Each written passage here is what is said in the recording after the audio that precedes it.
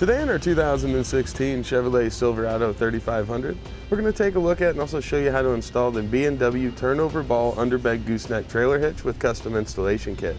Part number is BWGNRK1016. Here's what our gooseneck's going to look like installed in our truck and not in use. As you can see, we're going to have full unobstructed access to the bed of the truck. You can use it to haul around whatever it is that we would like. When it is time to use the gooseneck, what we'll be able to do is pull the locking handle on the outside, raise our ball up and out. We can rotate that over, get that slid right back in position, release our handle so it comes to the ball, and that's gonna have it locked in position for us. Now this is a 2 and 5 16 inch ball, which is very standard with our gooseneck couplers. And it's gonna give us a 7,500 pound vertical load limit. So that's the maximum downward force that we can put on our ball and it offers us a 30,000 pound gross trailer weight rating. That would be the total weight of your trailer and anything that you were to load up on it. Of course, you also want to check the truck's owner's manual, see what its tow rating is, and go off of whichever of those are the lowest. Here you see once we're connected, our safety chain connection points are going to come up here, allow us to connect whatever size safety chain it might be, and then that actually going to hold it right down against the bed of the truck so it's not going to be wiggling around too much, making too much noise. Now the ball itself is a solid one-piece stainless steel construction. You can see it's, a, it's kind of a square design. That's going to prevent any rotation um, that we can sometimes get from gooseneck balls, especially when we're trying to couple or uncouple them. You can see our release handle, it's going to be very easy to get to here in the wheel well. We just want to pull that out, rotate it clockwise. That's going to lock it in that open position for us, allow us to attach our accessories in there, drop in our gooseneck, our companion, either the even the ladder rack kit for the system. Once we've got it in there, just rotate that back counterclockwise and allow that to pass through. Now you can see we've got our spare tire removed before we begin our installation. We're also going to be taking down this heat shield here. There are two 13 millimeter bolts. One's going to be right in the bottom of this round tube, right behind the heat shield there. And then one in the bottom of the frame right here, also behind the heat shield. When we get those removed and take it down, it's just going to make it a lot easier for you to see what we're doing.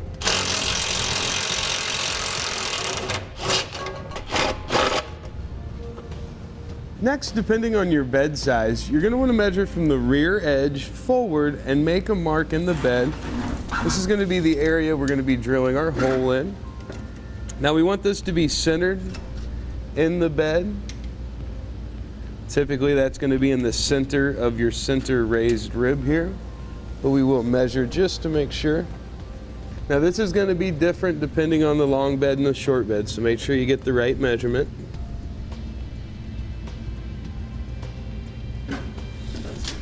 Then we're going to measure from side to side between our wheel wells here.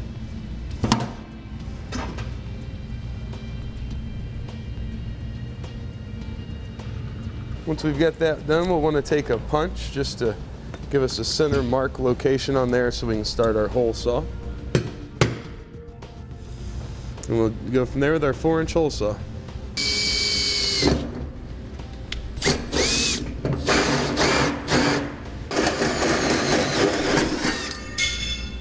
Now we need to make a small notch. We're here in the rear passenger side fender well. And you'll see there's kind of already an area here where there's just one layer of steel. We're going to take that out. This one has an electrical connector that's there. So we want to get that out of the way, of course. That come down.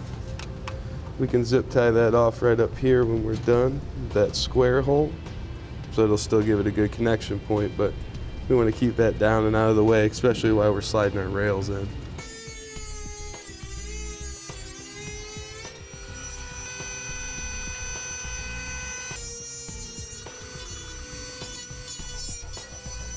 Now with that out of the way, it should allow us to slide our rail in and out of there without any interference. Now you'll see just behind that notch, we can see the top of a heat shield that's here.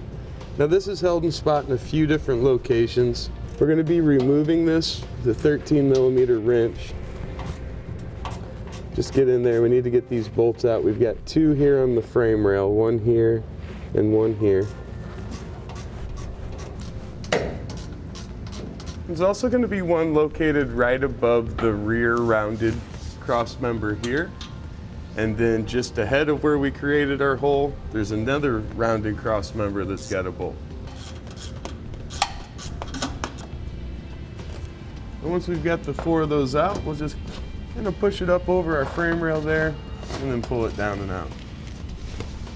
Now we can take our front cross member. It's going to be the angled piece. The holes need to face towards the rear of the vehicle. And you'll see where this hump comes down, there's a little bit um, of an offset. It's a short area there, longer there. So this needs to go over towards the driver's side.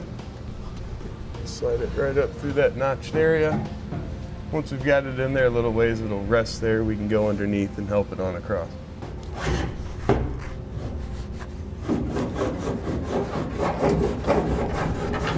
All right, now the second hole over from the driver's side, we want to take one of our shorter half inch bolts in the O-ring that's in the kit, and we want to get that started just by pushing that O-ring down on it after we pass it through. Now it's time for us to get our center section put up into position. Uh, but what we're going to do is just slide the passenger side of it. You can see the offset where that large hole there. We want that closer to the rear of the truck rather than closer to the front. Slide it up over the exhaust and then rotate it in position here.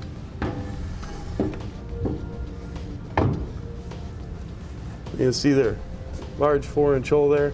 We want that to line up with the hole up through our bed. Just like that. That'll give us an idea on positioning. Do like to secure it with a couple of bolts. All right, now that'll hold that in place. Let's get our rear bar put across here.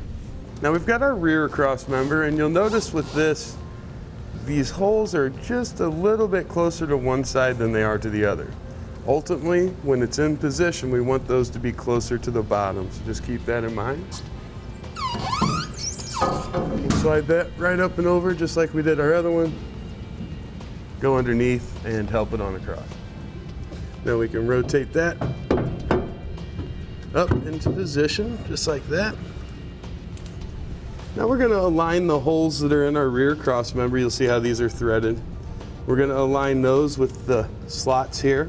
We're gonna use our longer two inch, half inch bolts. With a flat washer on there, a lock washer. I'm just gonna put those through there and thread them right into the holes. Now we can go through and just get the rest of our hardware started here. Now we can get our side plates put into position. You can see our two flanges here. These need to go in between the front and the rear cross rail there. And then those plates are gonna line up with our holes right here on the side. Already gonna have weld nuts there. Just gonna use our 16 millimeter hex head bolts with a lock washer and a flat washer for our front and rear location here. And for our rear hole location, for our side plate to our cross member connection point, half inch bolt with a flat washer and lock washer thread that in. And for our forward hole location, just like we did underneath, we'll bring a bolt through. This time we'll add on a flat washer and a lock washer. And our nut.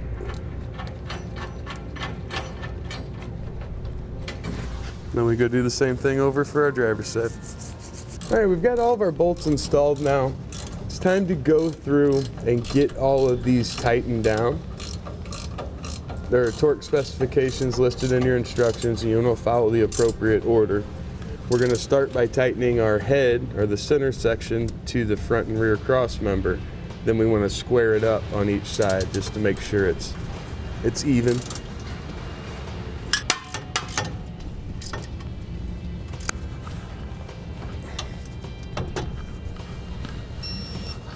Now with everything squared up, we can get to the side plate bolts that connect them to our cross members.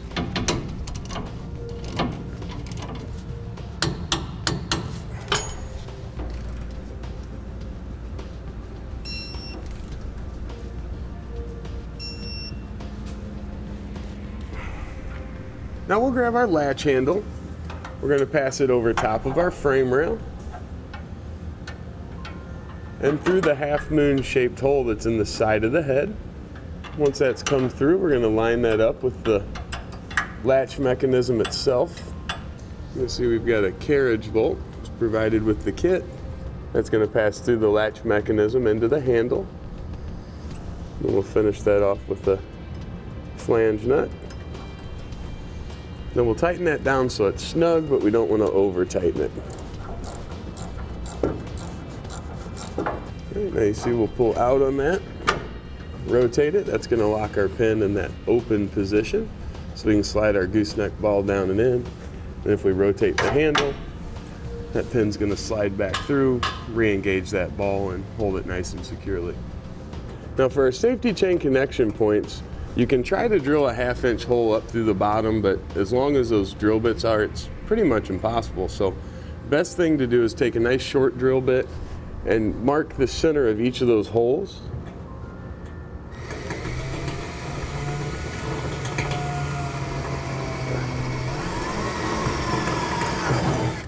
We'll go around, we'll do that at all four of our locations, and then we can drill down through the top. That'll be a lot easier on us.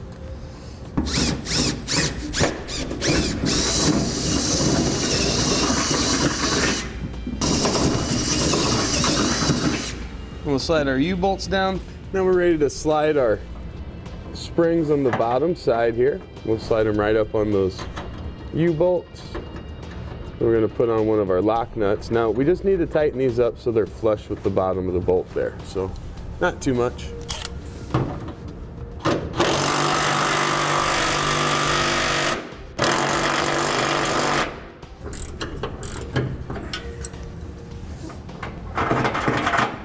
All right, that's there is to it. Now we'll get our spare tire heat shield put back in place here. Get our spare tire put back in and anything else that you took down with the exception of that one larger heat shield up front.